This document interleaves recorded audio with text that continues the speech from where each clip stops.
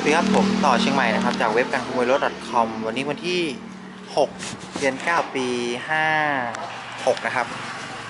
รถ m อ x ใหม่เลยนะครับ จากสัมปะตองเนาะใหม่รถอยู่ที่ 739กิโลนะครับจามตามที่โจรขโมยกันนะครับ ใช้เหล็กกำแหลมเนาะแทงรูกุญแจแทงรูกุญแจปุ๊บบิดรูกุญแจพังเขาเลยสตาร์ทรถไปเลยอ่าดังนั้นพวก ผู้ผลิตเลยทำที่ปิดกุญแจไว้นะเดี๋ยวผมจะมากดล็อกให้ดูนะครับกดล็อกครั้งเดียวนะครับ อยู่ๆมีคนมาโดนรถอ่าอยู่ๆมีคนมาขโมยรถนะครับใช้กุญแจผีแทงรูกุญแจแทงปุ๊บบิดร้องสตาร์ทไม่ติดบิดกลับก็ไม่หยุดจะหยุดตรงเมื่อกดล็อก ถ้าสมมุติเราลืมล็อกรถนะครับ มีโจรใช้กุญแจผีนะครับ แทงรูกุญแจรถเราไปปุ๊บสตาร์ทรถเราเห็นพอดีเฮ้ยมันขโมยรถเราให้เรากด กดปุ่มล็อกนะครับ รถจะดับเลยนะ จะสตาร์ทไม่ติด